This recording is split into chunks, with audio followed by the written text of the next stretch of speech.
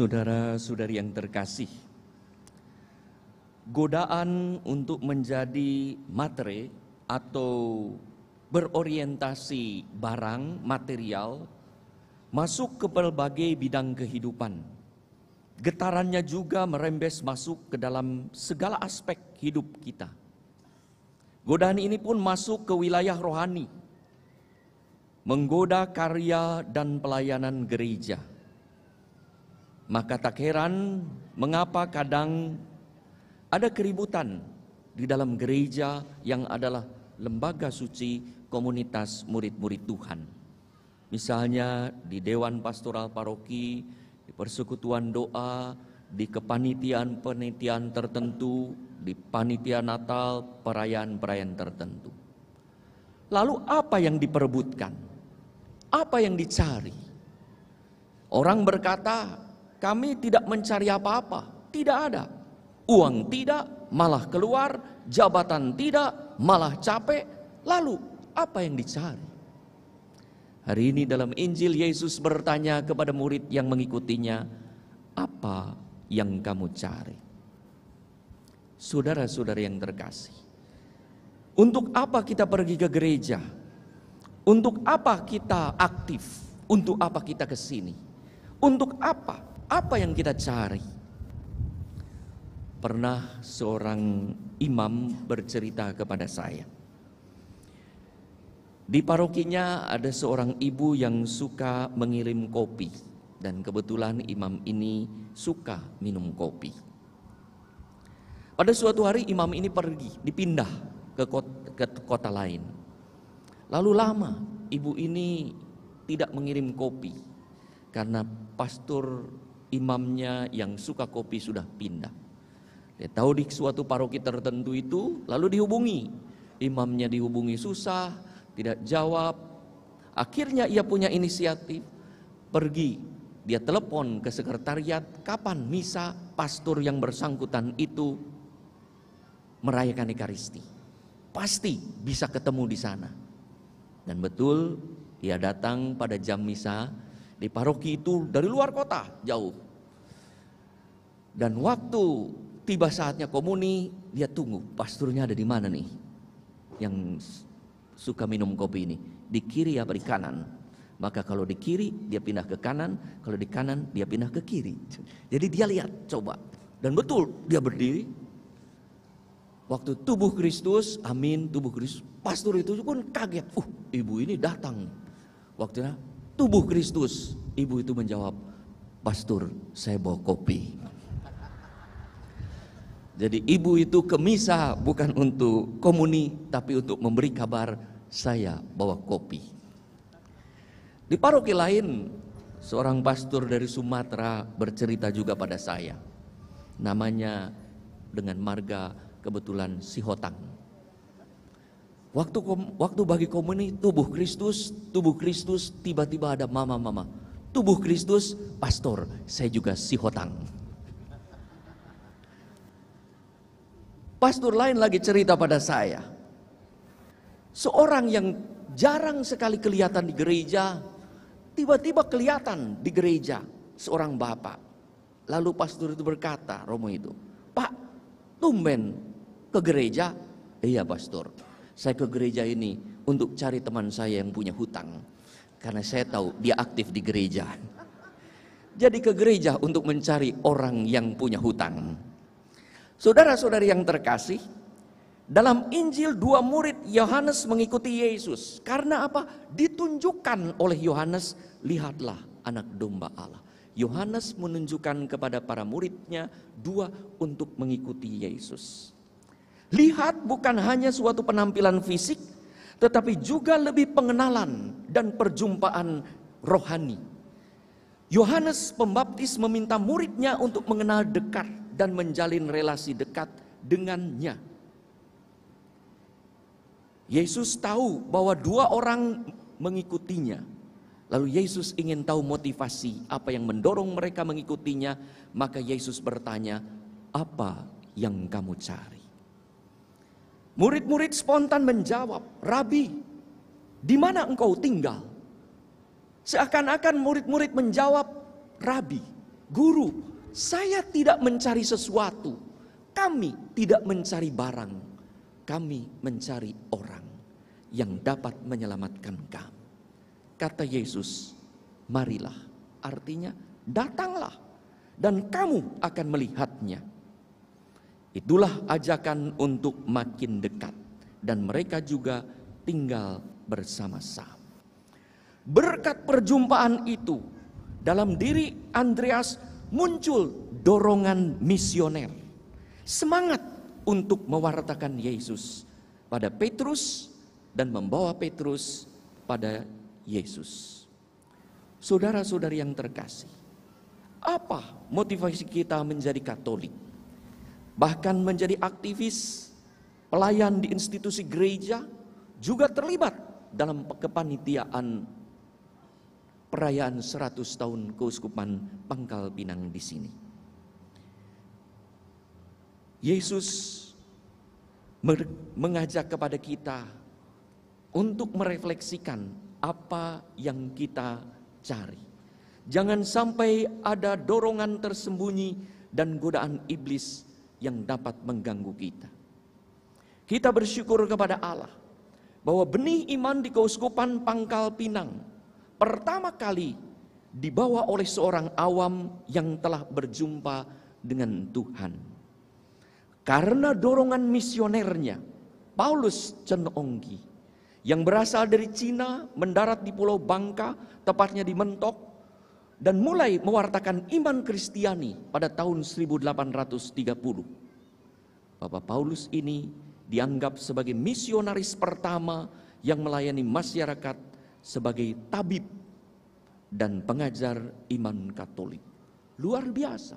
Di banyak tempat gereja-gereja berdiri karena datangnya misionaris, para imam, para biarawan, biarawati. Gereja Kuskupan Pangkal Pinang benihnya pertama-tama ditabur oleh seorang awam. Seorang yang karena martabat baptisannya tergerak dengan semangat misioner untuk mewartakan Tuhan sampai di tanah di keuskupan Pangkal Pinang ini. Baru setelah itu para misionaris berdatangan memperkuat dan mempercepat perkembangan iman umat di wilayah Mangkal Pinang ini. Hingga menjadi seperti saat ini kita merayakannya di Batam.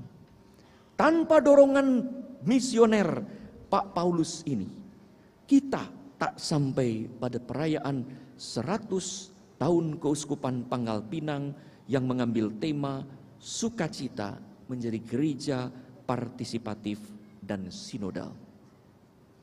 Kita pun ditanya oleh Tuhan pada hari ini, apa yang kamu cari dengan mengikuti aku? Bagaimana menjadi gereja keuskupan? Bagaimana menjadi kevikepan? Bagaimana menjadi paroki yang berjalan bersama? Bagaimana menjadi gereja yang para anggotanya sadar akan martabat baptisan seperti Bapak Paulus Jen Onggi tadi. Yang sadar akan martabat baptisan yang adalah anugerah Tuhan tetapi juga amanah, tugas, tanggung jawab, perutusan untuk dengan semangat misioner menjadi saksi Kristus dalam hidup sehari-hari.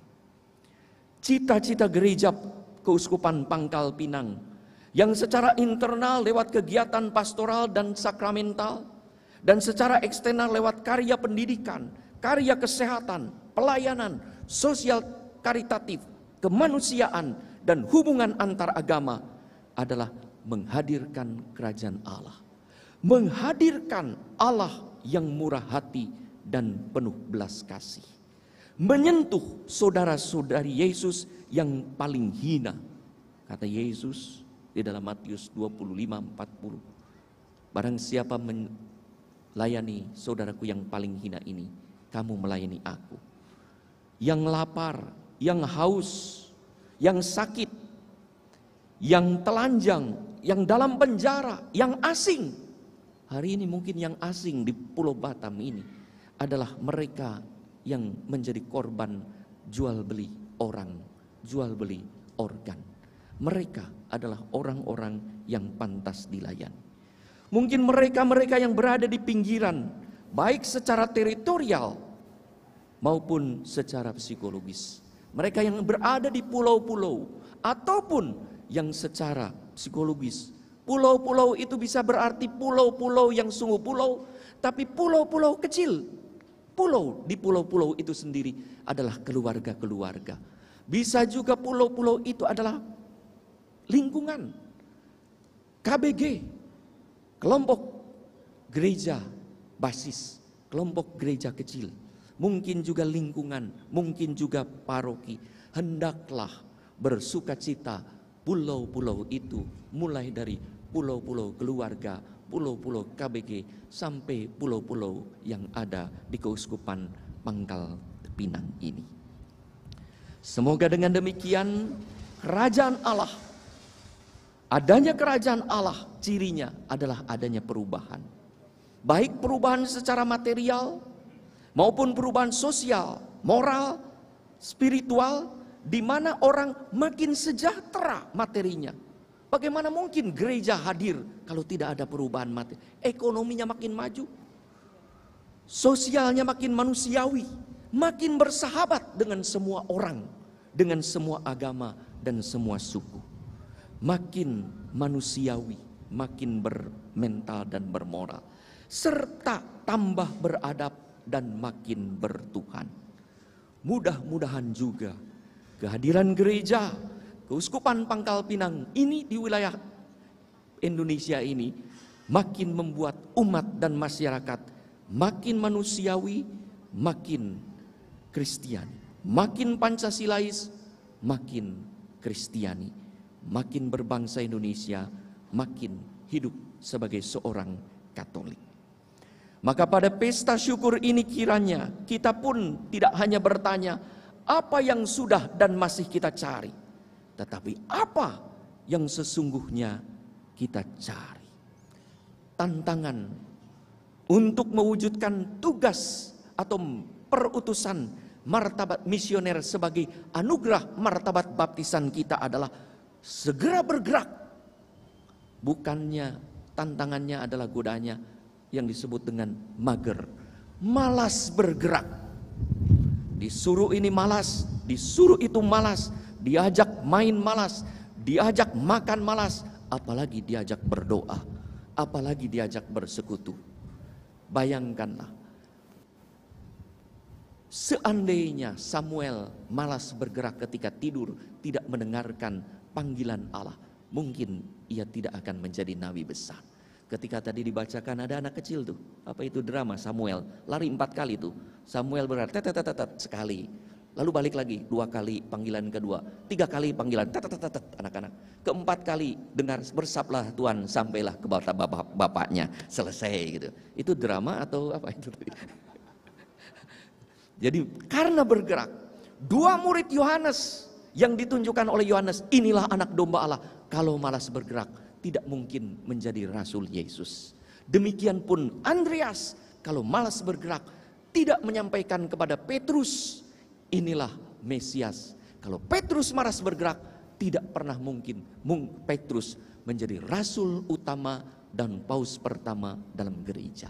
Mari bergerak, hilangkan godaan mager atau malas bergerak misioner, panggilan misioner keberhasilan kita diawali dengan beranjak dan bergeraklah, terutama ke tempat-tempat pinggiran yang jauh.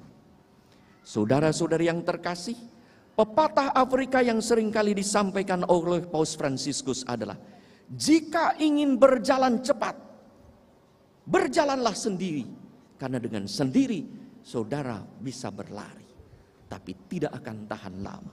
Maka jika ingin berjalan jauh, berjalanlah bersama-sama dengan saudara, dengan sahabat, kerabat, bersama dengan teman. Saya tambahkan, jika ingin berjalan jauh dan cepat, berjalanlah bersama-sama dalam semangat partisipatif dan sinodal sebagaimana diungkapkan dalam tema 100 tahun keuskupan Pangkal Pinang yang kita rayakan di kepikepan Kepulauan Riau ini. Partisipatif berarti bukan bertanya apa yang saya cari di gereja, tetapi apa yang mau dan mampu saya beri di gereja ini demi kemuliaan Tuhan dan demi berkat bagi banyak orang. Semoga gereja Keuskupan Pangkal Pinang sungguh berjalan bersama dalam semangat partisipatif dan sinodal. Bersama dengan para uskup seluruh Indonesia, baik yang hadir maupun yang ada yang ada di tempat masing-masing, saya mengucapkan selamat ulang tahun 100 tahun keuskupan Pangkal Pinang. Selamat berjalan dalam semangat partisipatif dan sinodal hingga bersukacitalah banyak pulau. Tuhan memberkati.